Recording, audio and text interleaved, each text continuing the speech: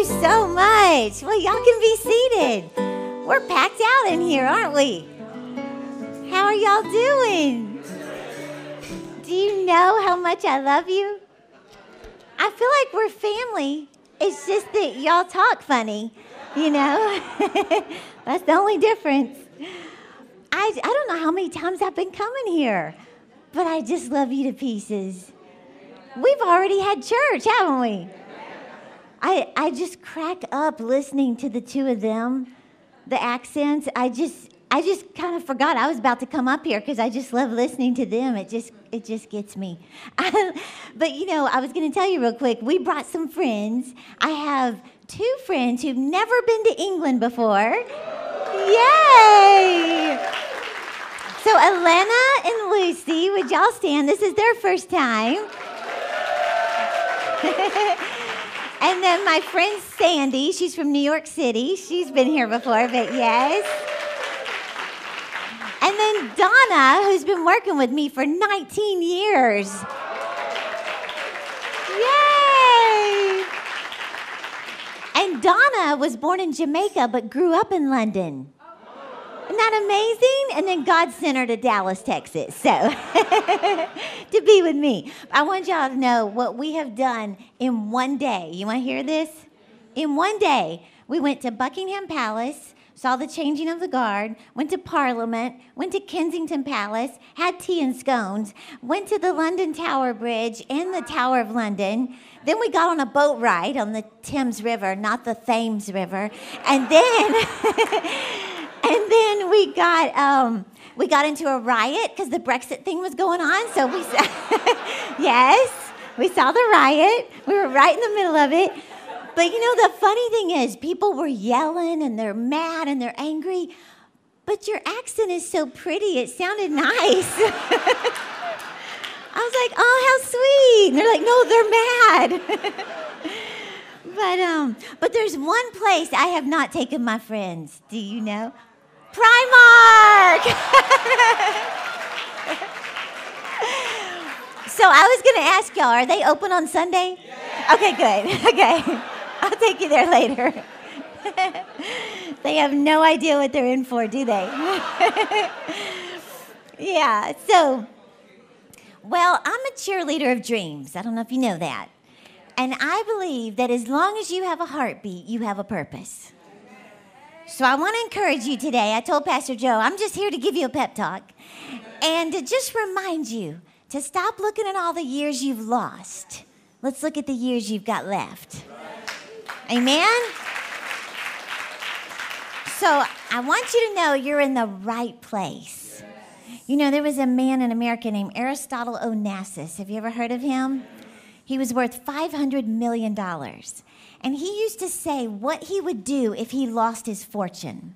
He said, if I lost all my money, I would go get a job. He said, I would get three jobs and work as hard as I could just to save up $500. And he said, I would take all $500 and spend it on one expensive meal in the nicest restaurant in the city. People said, You would spend all your money on one meal? He said, Yes, just to get in the environment of people who would cause me to come up higher. Isn't that amazing? That's how important it is that you stay in this kind of a faith environment that causes you to think bigger, to dream bigger, to believe bigger. So you're in the right place at the right time. You believe it? So I'm just going to share with you a simple message today. And I want to remind you of this. Every time you come to church, every time you make yourself get up and hear a faith building message, you know, the Bible says faith comes by hearing, right? You're getting stronger every time. And you know, they say the key to success, I just happen to have a key here, is uh, it's K E Y. Keep educating yourself. Keep educating yourself. That's the key to success. So, my message today, I call this the three bones of success. The three bones of success, and I do have the bones here. So, are you ready? Okay, the first set of bones I want to talk about is the bare bones. Just the bare bones. Now, that's a phrase that we use to describe the essentials, the elements, the basics of day to day life. So, what I mean by that is what are the bare bones of your daily routine? Like, what are you doing on a day to day basis that's going to lead you closer to your dreams or further from them? Because the secret of your future is in your daily routine. You know, some of you know that, um, well, let me just tell you this real quick. I used to set goals, New Year's goals. January 1st, I'd get out a piece of paper and I'd write all my goals down. And this is what my goals sounded like read more, lose weight, get closer to God, save money, get organized. Do those sound familiar? Yes.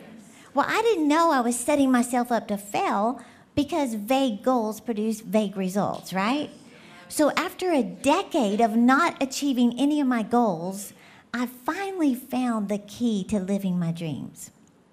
And it all has to do with what you do before breakfast, how you're spending your routine. In fact, you know, John Maxwell is one of my mentors. And I heard this story he shared about how he was speaking at a conference and at the end he agreed to do this Q&A with the audience. And he said there was this young man there who just graduated from university and this young guy is just admiring everything about the conference. So I want you to think about it. There were 2,000 people in attendance who paid $2,000 each.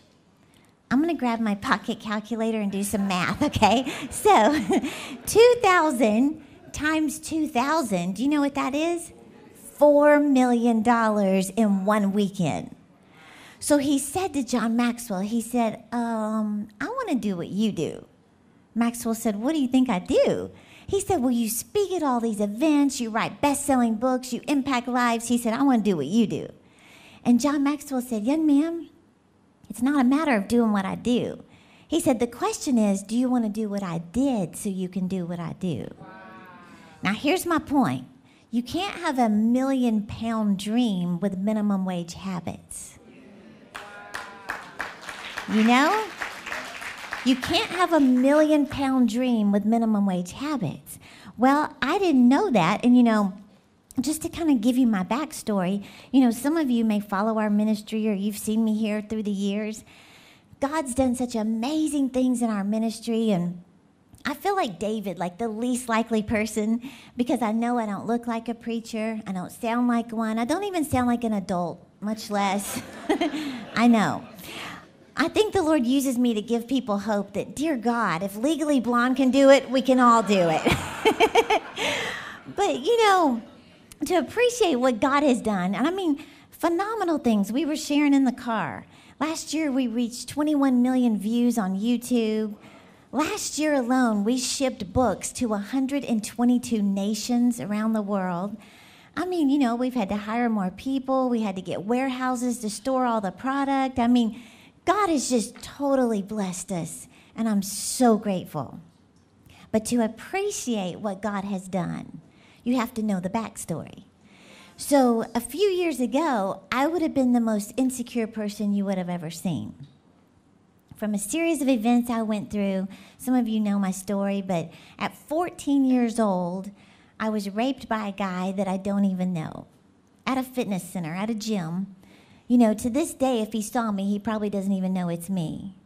And when I went through that experience, it really impacted me on the inside it completely changed the way I saw myself. I used to be just happy-go-lucky girl, and I still tried to, you know, have a big smile. I was a cheerleader all through school, but I was hiding so much pain. And because of that, I felt worthless, I felt ugly, I felt useless. And then I got into a relationship with a guy that became abusive, and I stayed with him because of how I felt about myself.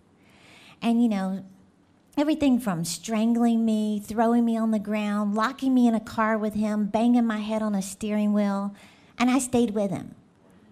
Finally got out of that, trying to do what's right and, you know, try to build myself up. Then my last semester of college, I got pregnant before marriage. Most of you know my favorite preacher, my dad, Jerry Savelle. And I was so ashamed of myself. I ended up getting married. And three weeks after the wedding, I lost the baby. And so it just felt like one terrible thing after another. Even though good things did happen in my life, I just felt like such a failure. And in 2002, that's when I had my wake up call. I finally looked at my life and realized I'm separated from my husband. I have debt. I'm living paycheck to paycheck. My house is a mess. I'm unhealthy. I have no vision for my life. And I have a five year old little girl who's looking to me for a role model. And I finally looked into my future and realized unless I make a radical decision to change, this isn't going to be like a season of regret. This is going to be a life of regret. And all I did was make a decision. I didn't have a success coach come to the house and lay out a plan for me. I just made a decision. I said, I'm going to make myself do five things every day for 21 days. Just five things I wrote down. And I thought, you know, I'd heard if you do something consistently for 21 days, you can break a habit and start a new one. So I said, okay, I'm going to do this. Well, one of my five things was to make myself, and I know you've heard this, make myself listen to a faith building message every day for 21 days. Well, if you're going to do something, you have to decide when you're going to do it, right? So I said, okay, well, I could do it in the morning while I'm getting ready for work. I got to get ready anyway. Takes a long time to look like this. Might as well.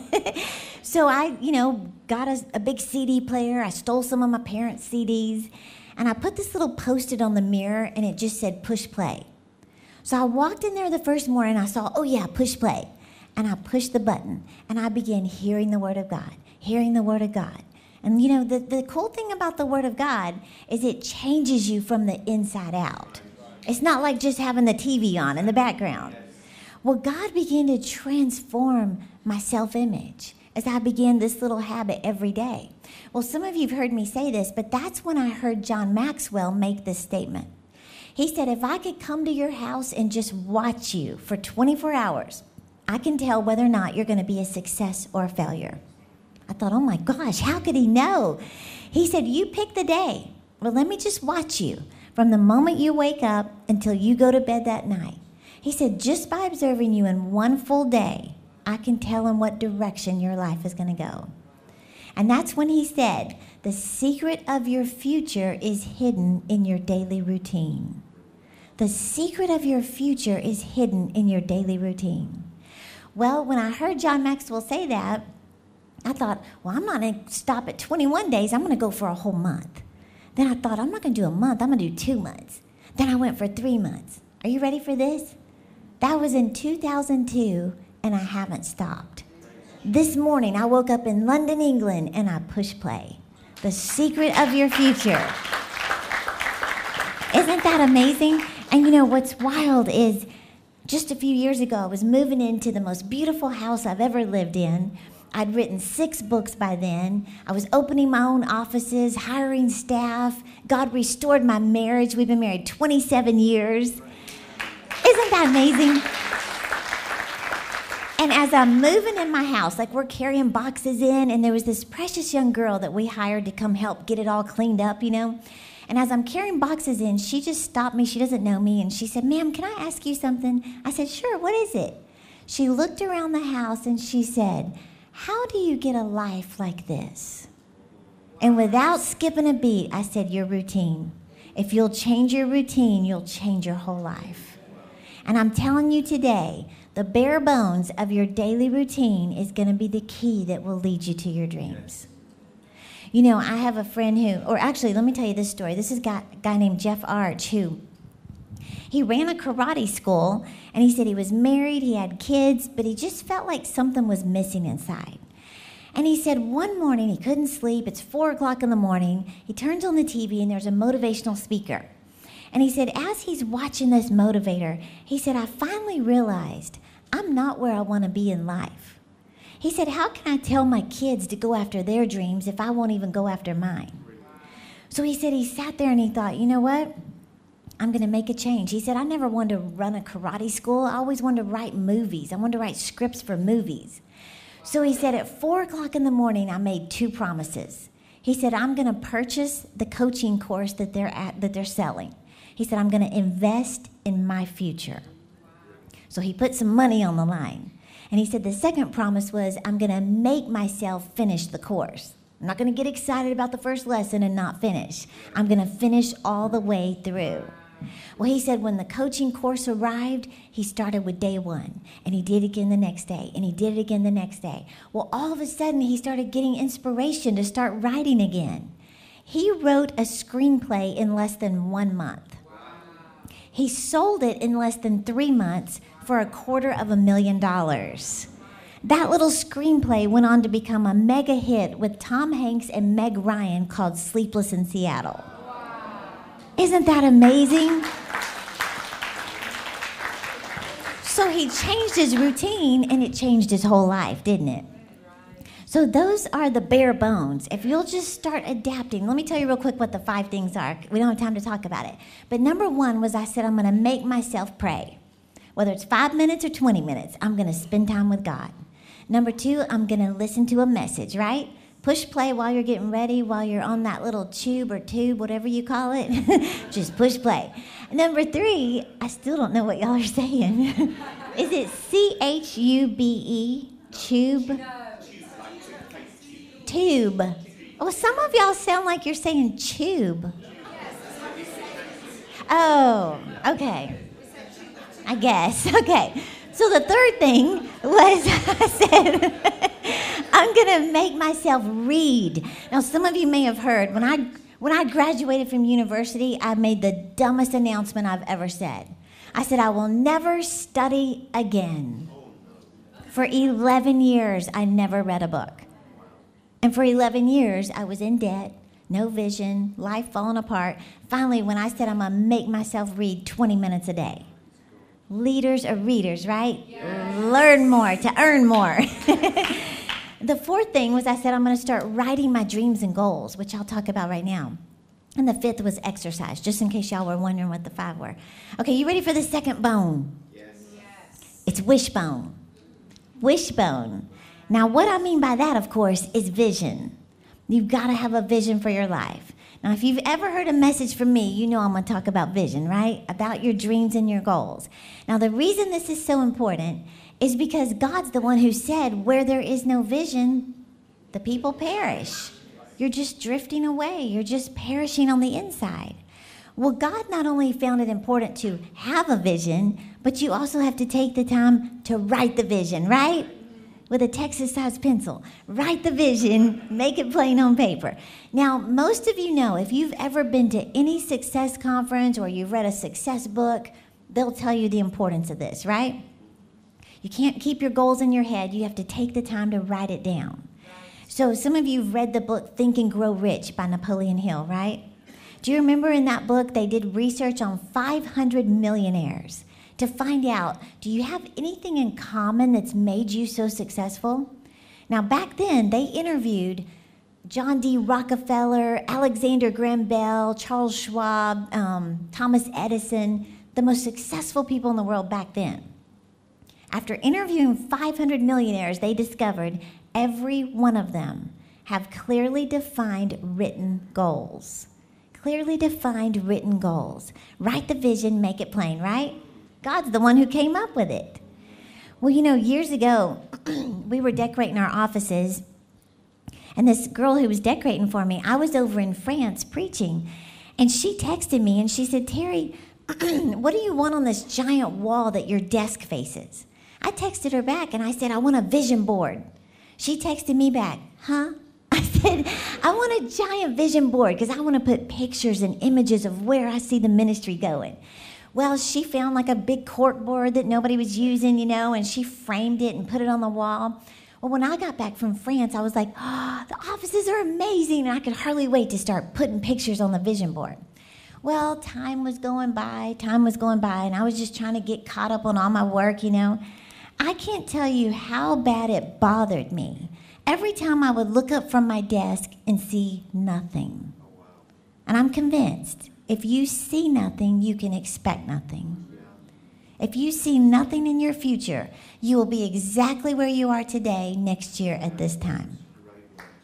We don't want that, do we? well, you know, God's the one who even asked Jeremiah. Do you remember when he said, Jeremiah, what do you see? What do you see? And Jeremiah began to tell him, You know, I see the branch of an almond tree blossoming in late winter. And then God said to him, I'm watching over my word to perform what you see, right? Yes. So God's asking you today, what do you see? Do you see your marriage restored? Do you see yourself getting married? Do you see yourself carrying a baby? Do you see yourself logging into your bank account and you see 5,000 pounds in your savings? Can you see it? Can you see yourself logging in and paying off that MasterCard?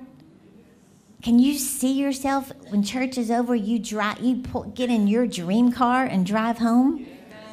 See, you got to see it on the inside before it shows up on the outside. And I like to kick it up a notch. I like to put pictures and images to my dreams. You know, some of you have heard how I've put all kinds of fake pictures in here. When I wanted to write a book, I went to the bookstore and I posed in front of the bookshelves as if I had a book there. I put it in my dream book and I wrote, I'm a best selling author. Here's a funny picture. I put a fake picture of me and John Maxwell. This is totally fake. And I'm acting like we're buddies. And I said, I speak at events with John Maxwell. I put pictures of financial goals in here. I put a picture of Oprah Winfrey in here. I put so many just fake pictures in here. But there's a principle in the Word of God that you become what you behold. You become what you behold. I don't have all my samples here, but I can show you a couple real quick. Here I am speaking at events with John Maxwell. That's a good one. This was last April. Here I am on stage with Oprah Winfrey. I mean, I'm just telling you, if you have a dream, you got to keep it before your eyes, right? And let me just say this real quick vision always comes first, provision comes second. Vision always comes first, provision comes second. You know, T.D. Jakes, y'all know who that is, right? he has a church in our city in Dallas. And he said when he was getting ready to build the big campus, the Potter's House, he went to the bank and he you know, was trying to get a loan to build the campus. And the bank told him, they said, We're not going to give you any money. They said, We need to see a seven year plan on paper. So he said, All I did was go home and write a seven year prophecy of what I saw in my spirit. He went back and handed him the vision, and they handed him $45 million. But the vision came first, the provision came second. Now, just to kind of put this, bring this down a level, I think about the time I was taking my daughter to school and we're in the little mommy drop off, you know, where you drop your kids off. And she's jumping out of the car. And before she got out, she goes, Mommy, hurry, I need a $100. Hurry, hurry. And I was like, Excuse me? A $100? I said, For what? And she goes, Mommy, I told you $65 for the volleyball shoes, 25 for camp, and 10 for lunch. And I said, Oh. When I heard the vision, I gave the provision. Right. See, God's just not going to pour money down until you say, Lord, this is what I need. Here's the vision. And you know, God wants you to keep those images in front of you. Y'all know who Joel Osteen is, right? Do you remember his dad, John Osteen? You know, years ago when John Osteen was in the hospital having open heart surgery, he told Joel, he said, Joel, I want you to go home and get my tennis shoes. he was a petite man. he said, I just couldn't fit real shoes up here, but he said, I want you to go home and get my tennis shoes and put them in the hospital. Because he said, that is my vision that I am going to walk out of this hospital. Isn't that awesome? And he even had a vision. He said, I'm going to go jogging again, too. And do you know he lived another 12 years after open heart surgery? But he had to keep his eyes on that vision. Well, what is your vision that you need to keep in front of you? You know, I have a, a, another couple that I know who, in fact, do y'all ever remember the TV show called The Love Boat? Yes. Do you remember that? That's funny. Um, so, do you remember the captain of the Love Boat? Okay, he and his wife went through a painful divorce. Well, his wife would not give up on that dream of God restoring their marriage. They were married for seven years, went through a divorce, and to keep the vision alive, you know what she did? She said every day she would set the dinner table with two plates. And that was her vision that God is bringing my husband home and we will be restored. Four years went by all of a sudden she hears a knock at the door. She opened it up, and there's captain of the love boat, Gavin. And all she said to him was, Come on in, your dinner's getting cold. Isn't that awesome? And do you know They have been married over 30 years now. But she had to keep that vision in front of her eyes, right? So, what is your vision that you're, you're just saying, Lord, it looks impossible. It looks like it's never to happen. But God's saying, kick it up a notch. Add pictures to your dream. Keep it in front of you. Take the time to write it down. Are you ready for the last bone? The final bone I have to pick with you. this is a tough one. this is backbone. It's going to take a lot of backbone, isn't it, to live your dream. Now, what I mean by this is you're going to have to fight for your dreams. I never like to give people impression that I just print little pictures and they just happen. it's so cute. No, I have to fight for my dreams and you will too. In fact, the Bible says that a dream comes about with much business and painful effort. I don't like that scripture, but it's in there. you know, y'all may have heard me say how years ago I was just, it was when I was going through all that in 2002, separated from my husband. And I'm the type of person that just kind of keeps everything inside. I usually don't tell everybody what I'm going through until I get through it, you know? But I was at a breaking point. I went over to my dad's house and I just said, Dad, I just can't take it anymore. I just want to give up. And my dad looked at me and he said, Terri, the Savelles are not quitters. You understand me? He said, You're going to get through this. And then he just kept telling me, He said, Quitting is not in your blood. You are going to make it. And I just kind of stared off into space. And my dad said, What are you thinking? I said, I think I'm adopted. I'm just telling you, I've had to learn to fight, okay? and you will too, right? Yes. Now, Thomas Edison made this statement. He said, most of life's failures are those who didn't realize how close they were to success when they gave up. Most of life's failures are those who didn't realize how close they were to success when they gave up. Now, some of these brands you may not recognize. I'm not sure if they're here in England, but I think most of them are. Listen to this Aunt Jemima, do y'all have that? That's syrup and pancakes and stuff? Okay. Syrup, not syrup. Okay, Aunt Jemima, she went bankrupt three times. Pepsi went bankrupt three times. Quaker Oats went bankrupt three times. Henry Ford went bankrupt five times. Wrigley's Gum went bankrupt three times. Walt Disney went bankrupt seven times before he built Disneyland. Never give up on your dream, right? I mean, and you know, you think about it, the very thing that you're going through is the very thing God can use to take you to a new level. When you really think about that, you know, I look at David in the Bible. David would still be a shepherd boy if it weren't for Goliath. Goliath was the very thing that was sent not to defeat him, but to promote him to a new level, right? So just look at your whatever you're going through right now, going, wow, I must be getting ready for a whole new level. My favorite preacher, Jerry Savelle, says, when you feel like giving up the most, that's always an indication your breakthrough is just about to happen. Amen? So I just want to close out with this little story. I think you'll like this story. This is about a little girl named Liz who, this is back in the 1980s. She grew up with a single mom. Her dad left when she was six years old, and her mom was working two jobs just to try to make ends meet. And here's Liz at home by herself all the time, and her mom was working two jobs. And her mom told her, she said, The reason I'm working all these jobs is because I'm believing I'm going to send you to college, to university. You're going to get a good job. You're not going to, you know, suffer like I have. And she said, And my dream is that one day you're going to take mama on a trip around the world. That was her dream, and she planted that dream in her daughter.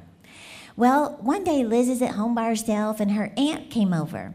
And her aunt said to her, she said, You know, you're at home by yourself all the time. I think you need to join the Girl Scouts. Do y'all know what the Girl Scouts are? Okay. She said, I want you to join the Girl Scouts so that it gives you something to do.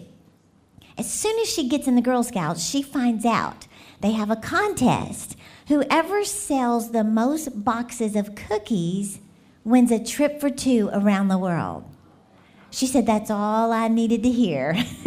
she thought, I am not going to have to wait till I go through university, get a good paying job. I am going to win this thing and take my mom on the trip of her lifetime. So she said she started selling those cookies. She went door to door in the apartment complex. So she would knock on the door and say, Would you like to buy a box of cookies? And the people would say, No, thank you. She'd come back the very next day. Would you like to buy a box of cookies? and she did this every single day. Well, finally, the apartment manager said they were getting so many complaints because every day she's like, Would you like to buy some cookies? You know. So they said, Liz, honey, you can't do this anymore. They said, People are starting to get upset. But he said to her, What I will let you do is set up a little booth by the elevator and you can sell your cookies, but you can't go knocking door to door. She said, Hey, this works out better. They're coming to me instead of me having to go to them. So she said she changed her sales strategy. She ironed her uniform and made it look beautiful. And when people would come to her, instead of saying, Would you like to buy a box of cookies? she would say, Would you like to invest in me? See, my dream is to take my mom on a trip around the world. My mom's working two jobs just so one day I can get a good paying job and take her on a trip. If I win this thing, I get to make my mom's dream come true. By the end of that sales pitch, people are crying, you know. they said on average, people were buying a dozen boxes of cookies from her. She sold over 10,000 boxes crushed the record, won the contest. Now, listen to this. After three to four years of selling all of these 44,000 boxes of cookies, people started hearing about her. Disney came to her and said, We want to make a film about you. But it wasn't like a movie you go watch, it was a training video to teach the Disney employees how to sell. The royalties from it went to Liz. She became a speaker at conferences. Her mom went from two jobs to one job. She took her mom on a trip around the world twice by the age of 13. Isn't that amazing? But I want you to.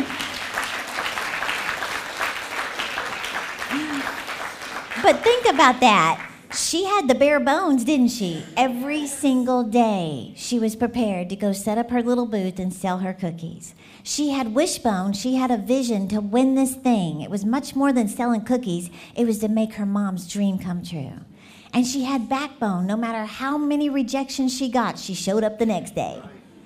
So, again, I want to remind you a dream comes about with much business and painful effort. But when you feel like giving up the most, that's always your indication your breakthrough is just about to happen. Did you receive that today? Yes. Amen.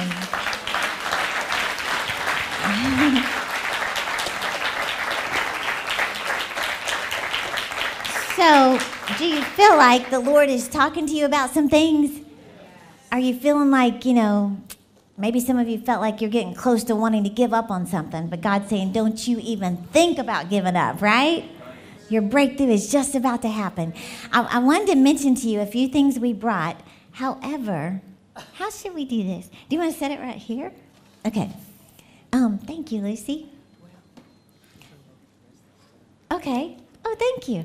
Well, I spoke yesterday at a conference. Wow, got some goods here. Yeah. So I spoke yesterday at a conference at um, it was at Westminster something Chapel, Central Hall. Yeah. That was amazing. That was so pretty. But we accidentally sold all the bundles that we were bringing to you. so we did manage to find a few. Uh, y'all had some from last time I was here. I think there's eight of these. So this is a book I wrote called Dream It, Pin It, Live It How to Make a Vision Board. Now, you don't just put pictures up and just expect it to happen. There are certain things you have to do to see that dream come to life, right? One of them is, you know, the Bible says we serve a God who gives life to the dead and he speaks of non existent things as if they exist. You got to call that dream forth, right?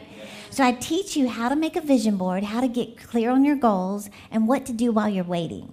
And then I have a little dreams and goals notebook here for you to put pictures and images of what you're believing for, plus the audio book. I went in the studio and read the whole audio book. So you got the book, the audio book, and a dreams and goals journal. Does that sound good? and what does this sell for? This is 40 pounds, but I think we reduced it to 20 pounds. So that's a good deal for you. I'd like to give you that one. Yeah. This gentleman right there, he said, That's mine. he claimed it, didn't he? Yay! A few months ago, I ordered this from. A few months ago, I ordered this from the states for a friend, Yeah. a friend of mine. Uh-huh. So I'm getting it back. You got it back. That's awesome. okay, and this is my latest book called Five Things Successful People Do Before 8 a.m. Now, you don't have to do them all before 8 o'clock in the morning. My mom asked, Can I do it all before 8 p.m.? I said, Yes, Mama. It's just a matter of doing it, you know? So I'll teach you how to develop good habits in your life. Does that sound good? I think we only have eight of these. So this sells for 15 pounds. Oh my gosh, I'm not messing with him. Come on. Dear Lord, what in the world? Oh my gosh. What? Can I touch it? Wow, look at this guy. I just want, wow. That was a little intimidating. I thought he was going to pick me up. no. Wow. Somebody's been doing their treadmill. Just kidding. okay, the last thing I have, um, and I think we have a few of these. Now, we put this together just for the trip to London, and let me just ask real quick how many of you feel like God is dealing with you about a new beginning, like a transition? Oh my goodness, that's who I'm talking to. Okay, the Lord said to me years ago, this is when I first started those five habits. The Lord said to me, When I know you're ready, get ready. And I was like, What? And then He said it again, When I know you're ready, get ready. In other words, like Coach John Wooden said, when opportunity comes, it's too late to prepare. You have to prepare now. So when God brings you opportunities, you say, Thank you, Jesus, I'm ready. Some of you, God told you to write a book, but you haven't written the book. So if God brought you a publisher today, you'd have to say, Lord, I'm not ready. So you got to start writing the book now. So when He brings a publisher, you say, oh, Thank you, Jesus, I was ready. Here's my manuscript, right? So, this is how I got ready. In fact, this is a one year coaching program that I put together based on the 12 areas that God dealt with me about getting ready. So, there's one for every month of the year. So, you're not overwhelmed. You just start with one month, and I kind of take you by the hand and walk you through it. So, like one whole month, we just work on your goals. Start setting goals the right way. Get very specific. Don't say, Lord, I'm believing for more increase. You know I need more money. Well, here's 10 pounds and there's your increase, right?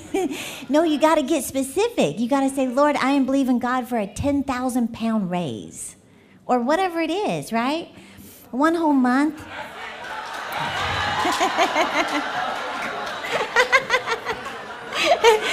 well, you're going to have to wait because I'm not finished. have a seat. Have a seat. So, but every single month, look at them. Every month, you you know, I walk you through a process of how you get ready. One whole month we work on cleaning your house. Did you know that's what the Lord told me before I could write a book? He told me clean up the mess. And here's why getting your house cleaned up is so important. When you're faithful with the little things, you'll be ruler over many things, right? So God began to teach me how to get my house cleaned up. One whole month we work on your finances. I guess the whole church wants free product. They're coming up. no, but anyway, this is a one year program. But what we did was this has 12 books, 12 audios. But what I did was I went in the studio and we put all of it on this little flash drive. And I did 12 videos that aren't included in that. So I put 12 videos on here also, one for every month, just to give you extra content and teaching. But that's not all. Wait, there's more. I added more. I put the five best selling audios that we have, I put this on here. One of them is Conquering Procrastination. One of them is called You Have Not Because You. See, I just love to hear y'all say ask. you have not because you ask not. so I teach you how to start asking God for bigger things. Stop asking God to put gas in your car, ask Him to pay off the car. Right? And then I added a bonus CD called Focus. Now, this is something I taught at a success conference where people paid $400 each to come. And the reason I taught on focus is because the Bible says a double minded man is unstable in all of his ways. So I teach you how to get focused on one goal at a time till you check them off. So if you feel like God's dealing with you about this one year coaching program, we put all of it right here. Now, this is 500 pounds worth of product and we reduced it just for you today, right before we leave, and we got to go, is 150 pounds. You get all of that content, all the bonus things we added, 150 pounds. And let me just say, you would easily spend that on clothing. This is your future you're talking about, right? Is your future worth 150 pounds? Do you know my library at home, to me, is the most valuable thing in my house? And don't get me wrong, I've got some amazing shoes. But but I'm just saying the investment I've made in myself, the books, the courses, the audios, that's what's changed my life. So if you feel like God's speaking to you, my dad always taught me this. Obey quickly and quietly. That's what dad would say. Obey quickly and quietly because delayed obedience is still disobedience. And let me close out with this statement. Years ago, when I started changing my habits, I was listening to this message and I would drive to work and I heard this preacher say this statement two times and then the CD would end. This is what he said Somebody in need is waiting on the other side of your obedience. And then he'd say it again. Somebody in need is waiting on the other side of your obedience. And I would think, could somebody be waiting on me to get my act together? And I'd think, no, nobody's waiting on me. Then I would think about it again. Now, today, when I get testimonies from people who say, Terri, I stopped cutting myself because I found you on YouTube. Terri, I started a business because I read your book. Or Terri, I got born again. I was an atheist for 20 years and I got born again because I saw your podcast. I think somebody was waiting on me to start a podcast. Who could be waiting on you to start investing in yourself? Because your obedience is going to impact their life. So if God's speaking to you today, do it, right? Just do it. Now, real quick, I do want to bless these girls. I think we can give them these products because we're not going to take them back, right? Do we have one extra one out there? This is all you got? So when it's over, can you give them that? Okay, we'll sort it when we get there. Okay. Y'all are so pretty. Okay, where's the precious girl that drove six hours? I do want to give you this because. Oh my goodness. Yes, thank you, thank you. Nice to meet you. Thank you. You have changed my life. Thank you, Jesus. So, beautiful girls, we're going to bless you too, don't, okay?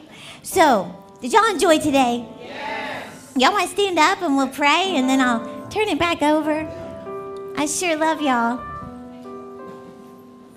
Let's just lift our hands to heaven. That's our universal sign of surrender, right? When the police arrest somebody, surrender, right? Mhm. So let's surrender our past, our present, and our future to the Lord. Father, in the name of Jesus, Lord, we praise you and we thank you for this opportunity to minister today. Lord, I thank you for every precious person who is here, who had a heart open to receive what you're speaking to them.